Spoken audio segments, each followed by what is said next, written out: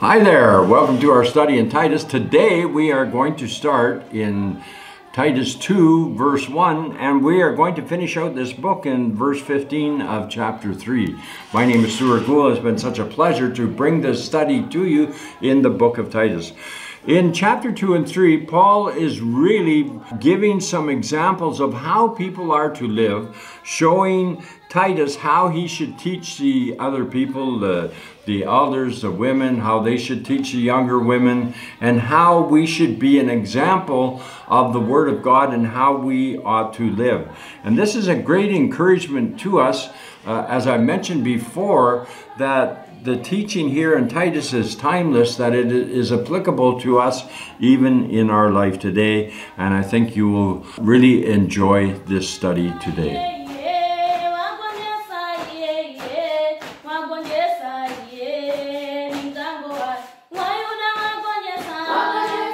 Once again, thank you for joining me in our study in Titus. As I mentioned already, we are in chapter 2, uh, verse 1. In chapter 1, Paul was telling Titus that he left him in Crete to give some instructions to the people to appoint elders in all the towns.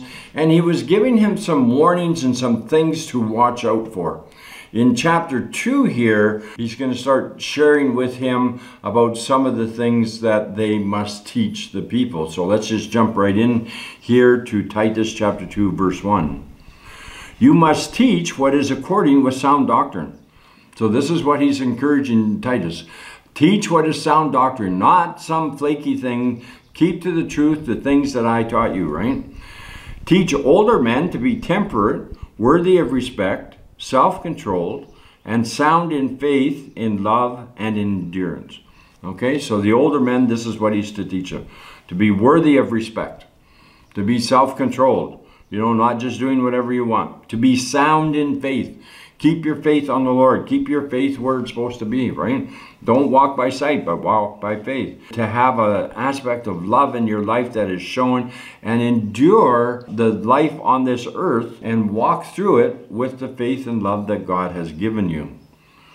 Likewise, teach the older women to be reverent in the way they live, not to be slanderers or addicted to much wine, but to teach what is godly. So he's giving instructions to older men, older women, younger women, younger men. He's giving us all instructions here, right? And so he's saying to the older women, teach the older women to be reverent in the way they live. What is reverent? To be in awe of God, to be mindful of God in what we do. Not to be slanderers, you know, gossip, slanderers, addicted, not to be addicted to much wine, but to teach what is good. Nowadays, we could add that to dope and all, all kinds of other things that we could be addicted to. But here, Paul is encouraging them to live a godly life. Then they can train the younger women to love their husbands and their children, to be self-controlled and pure, to be busy at home, to be kind, and to be subject to their husbands, so that no one will malign the word of God these elder women, if they're walking in the things of God, then they're going to be able to train the younger women. The younger women are going to see how they are working and they're going to be able to train them and they're going to listen to them. They can teach them to love their husbands and their children, to be self-controlled and to be pure and not to be running around and doing things they shouldn't be doing, right?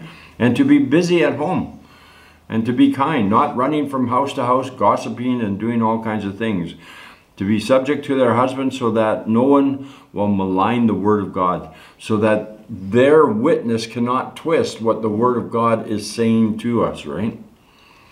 In everything, set them as an example by doing what is good. In your teaching, show integrity, seriousness, and soundness of speech that cannot be condemned, so that those who oppose you may be ashamed because they have nothing bad to say about you. So here he's switching over to Titus and he's saying to him, in everything, set them as an example. Be an example to them by doing what is good. You set the example. That's what a leader must do, right? A leader must set the example for those who are following him. If you look at the situation between a shepherd and a sheep, a shepherd always walks in front of the sheep and the sheep follow him. They follow him or her wherever they're going. The only time a shepherd goes behind the sheep and pushes the sheep is when he's taken them to slaughter.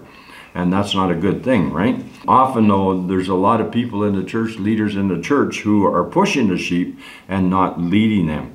And so Paul is saying here to Titus, set a good example and do what is good, right?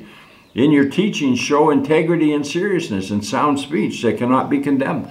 Teach the things that I taught you. Teach the things that are of God. Don't teach things that are, are so far out there that, that nobody can follow, right? So that those who oppose you may be ashamed because they have nothing bad to say about us. That they will be won't have any condemnation to speak about Paul or Titus or the ones that were there because they could see it in the life of Titus. Teach slaves to be subject to their masters in everything, to try to please them and not talk back to them, and not steal from them, but to show that they can be fully trusted so that in every way they will make the teachings about God, our Savior, attractive. This is a thing that's important. As Christians, people should be able to see our life and see a difference. They should be able to see that there's something different about us. They should be able to see, you know, I want to be like that person. I, I want to be like that person. St. Francis of Assisi says you should go into the villages and preach the gospel, and if it's necessary, you should talk too. What he's saying is we should be able to preach the gospel by the example of who we are and what we do, how we react to things and how we do things. That should be an example of our Christian life. Amen. And this is what Paul is saying to Titus as well. And he's in, given instructions to teach the slaves to do what is right. You know, you, these guys, you're working for them, do it as, as you are unto God, right? Work as you, you are unto God. Joseph was such a example for us from the Old Testament where Joseph was a slave and even though he was a slave he worked as though he was working to God. And because of that he got promoted to the highest rank so many times right? Until he was prepared that he became the prime minister of all of Egypt. For the grace of God that brings salvation has appeared to all men. To who? To all men. And this is what Paul is saying. It is for everyone. It is for the Gentile, for the Jewish people. It's for all people. It's there. It's the grace of God that brings salvation has appeared. His name is Jesus. He is coming to all of us, right? It teaches us to say no to the ungodliness and world passions and to live self-controlled, upright, and godly lives in this present age while we wait for the blessed hope, glorious appearing of our great God and Savior Jesus Christ, who gave himself for us to redeem us from the wickedness and to purify for himself a people who are his very own, eager to do what is good. This is the calling that God has had. And Paul is just encouraging Titus here and encouraging us at the same way, right? It teaches us to say no to ungodliness and to world passions, to live self-controlled and upright godly lives. We wait for this blessed hope this glorious appearing of our God, our Savior, Jesus Christ, who gave himself for us and redeemed us from the wickedness and the purity for himself. A people that are his very own, eager to do what is good. That's what we want to be, right? People that are eager to do what is good. Those then are the things you should teach, encourage and rebuke with all authority. Do not let anyone despise you. These are what he's supposed to teach. These are the instructions he's supposed to uh, give. Encourage and rebuke with all authority. I'm giving you the authority. God has given you the authority. Walk in the authority we have. We're just going to jump right over to chapter 3. He says, Remind the people to be subject to the rulers and authorities, to be obedient, and to be ready to do what is good, to slander no one, to be peaceable and considerate, and to show true humility towards all men. What a blessing, right? What a powerful word this is. Remind the people to be subject to the rulers. Okay, there's rulers that are there, you need to be subject to them. Except for when they are giving rules uh, that are contrary to God, that, that stop you from being obedient to God, right? And to be obedient and be ready to do whatever is good.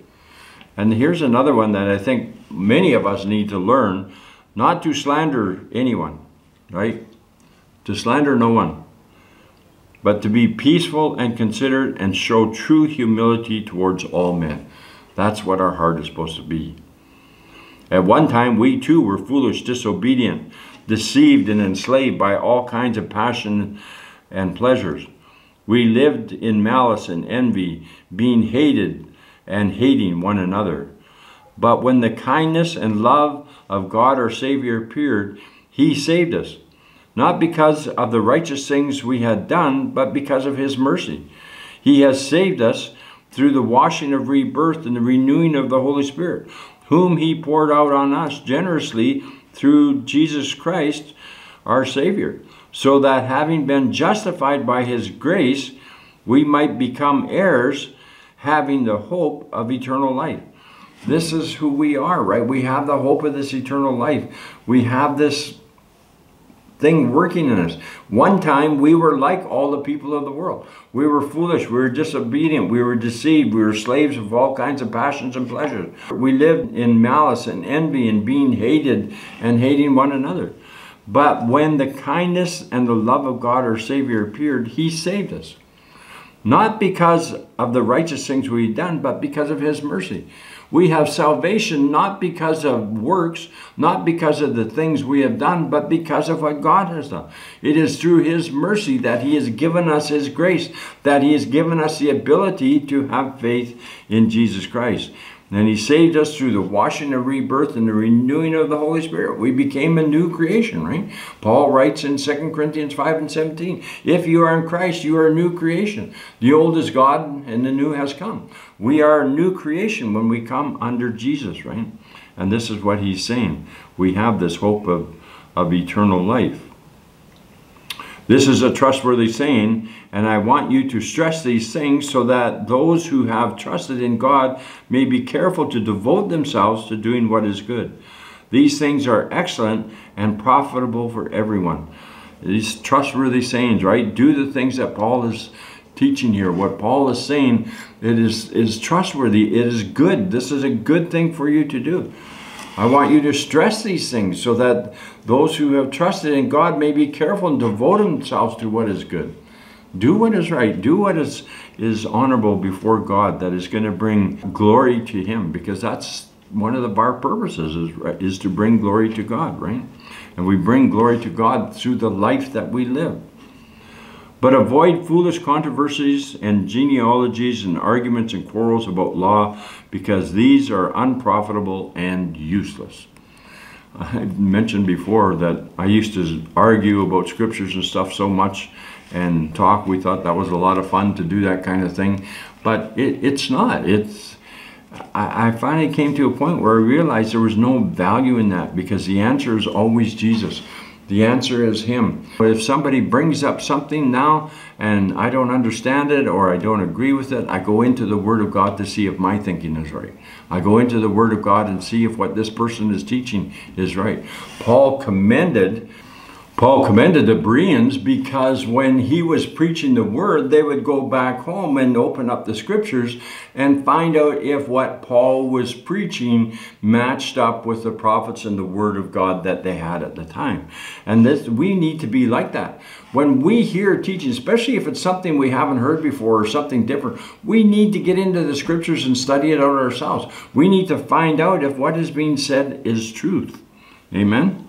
Warn a divisive person once, and then warn him a second time. After that, have nothing to do with him. If somebody's in there bringing divisiveness into your congregation, then warn them and warn them a second time. But if they don't change, then have nothing to do with them because they are going to cause a lot of problems in your group, right? You may be sure that such a man is warped and sinful. He is self-condemned. He's self-condemned by the things he says, right? He's condemning himself even. As soon as I send Artemas and Tychicus to you, do your best to come to me at Nicopolis, because I have decided to winter there. Do everything you can to help Zenas, the lawyer, and Apollos on their way to see that they have everything they need. Our people must learn to devote themselves to doing what is good in order that they may provide for daily necessities and not live unproductive lives. Everyone with me sends you greetings. Greet those who love us in the faith. Grace with you all. And Paul brings this letter to an end by speaking and encouraging them to do the things that is right. This is the whole point of this letter. Follow after the true teachings of God and do what he is saying. Walk after that. Be an example. Be who God wants us to be. Well, this is a very short book, and we've gone through this book in two sessions. I think it's been a, a, great encouragement for us. Let's pray. Father, we just thank you for your goodness and your love. We thank you for everything that you do for us. We thank you, Father, for the words that Paul has penned to Titus and the encouragement it is to us. Father, let us take these words that we've uh, studied over these last couple sessions and Father, just apply them to our hearts that we can be the witness that you are calling us to be. Father, we just pray for those who are struggling, that you would help them, that you are touching each one that needs to be healed, that is sick or that has some sort of problem. Father, we just pray that you would touch them, give them a healing. If they need a creative miracle, that you would do that for them. And if they're struggling in their heart and soul, Father, that you would you would heal them because you come to heal us body, soul, and spirit. For that we are truly thankful. Father, we thank you for the technology that allows us to uh, send your word around. We know as we put your word out, it will not return void. And we give you honor and glory for all the technology and the ability to do these things because it is through you and you alone that makes this possible. And for that, we are truly thankful. In Jesus' name we pray. Amen. My name is Stuart Gould, and it has been such a pleasure to bring this study to you. Remember, God loves you, and so do I. Until we see you next time, where we start another new book. Remember, Jesus loves you, and so do I. Okay, girls, take us home.